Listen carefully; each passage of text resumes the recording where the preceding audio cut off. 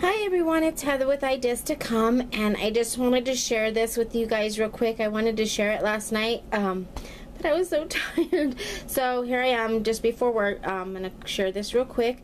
Um, there's a lady at work, um, and I was so shocked because I do make a few things that I have on my desk uh, for work, and they always see uh, some of the stuff you know, once in a while they'll see a glimpse of some of the stuff that I've made. And so one of the ladies came in yesterday and she brought me three cigar boxes.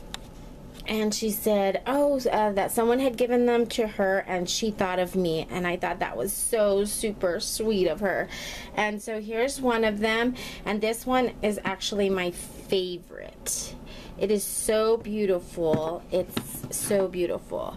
And it is wood and then it's got all and all of this is I mean it's it's raised. It's not flat. It's so beautiful. This is the thing that I loved about it. And it opens up like that's the lid and then right here it has this little piece right here. So I this one I'm not altering. This one I'm going to use to hold, then that's what she said. I thought you could hold your flowers in there or something. So that one I'm going to put my flowers in. And then this one, they have some beautiful, beautiful pictures on them. Love it. just love it. So super pretty. Thought that was so great. And this one is definitely get this one is getting altered. It says the sound of music. It must have had um, favorite things this is what I liked about this one it says favorite things on there so I'm gonna alter this one and I'm gonna try to find some damask like this um, to go on the front and um, and alter that because I like the fact that it says favorite things in there.